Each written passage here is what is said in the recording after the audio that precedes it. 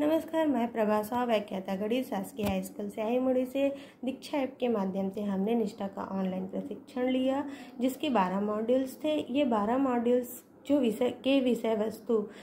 चाहे वो समावेशी शिक्षा हो या व्यावसायिक शिक्षा या कला के क्षेत्र में हो या बच्चों का आकलन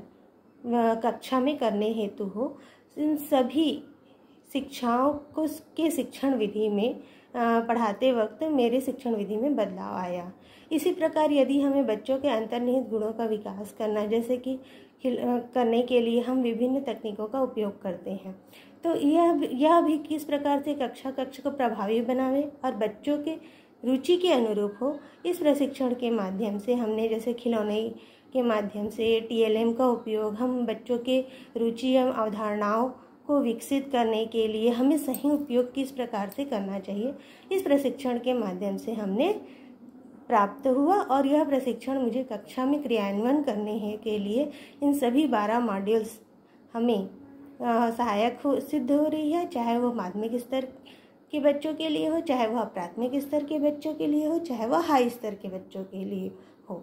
समस्या मुझे इस प्रशिक्षण को करते समय हमें नेटवर्क की समस्या हुई। यह प्रशिक्षण यदि हमें ऑफलाइन दिया जाता तो हमें आईसीटी टूल्स के जो टेक्निक्स हैं, उसे समझने में आसानी होता क्योंकि हम इन आईसीटी टूल्स को प्रैक्टिकली समझ पाते।